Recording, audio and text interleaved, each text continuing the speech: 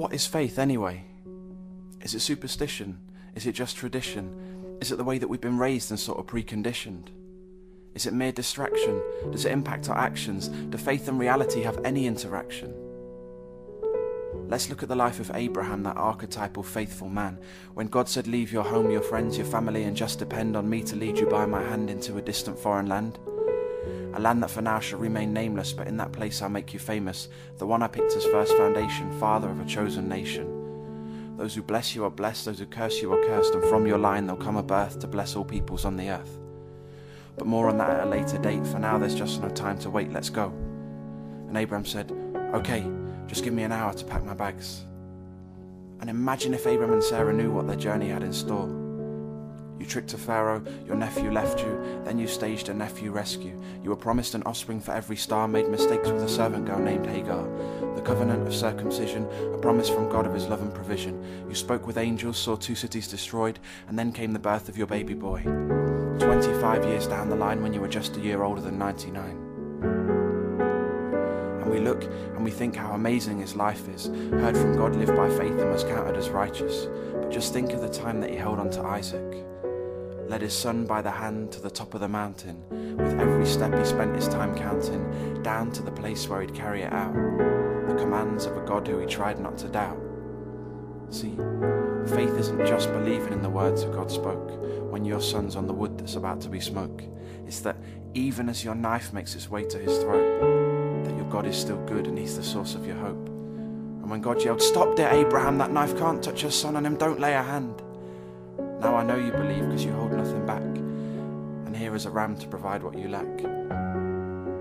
Now, a story like that kind of sticks in the throat. There are questions in us that it's meant to provoke, like, is God playing games and are we just the pawns?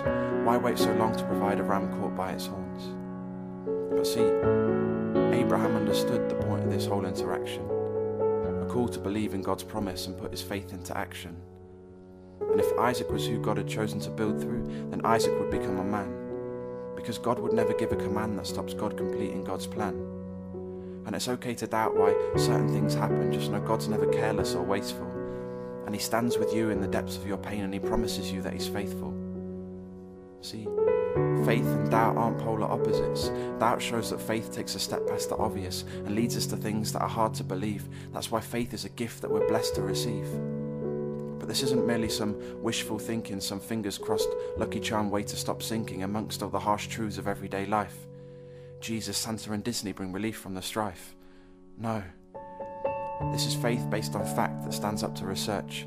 You don't switch off your brain on the way into church. But even as you build your case for defense, there are things that without faith don't make any sense, like how could a man go from dead back to breathing? How could God take on flesh? Now that takes some believing. And how can one man bear the burden of many, especially the one who did not deserve any? How could God give his life to bring us back to him?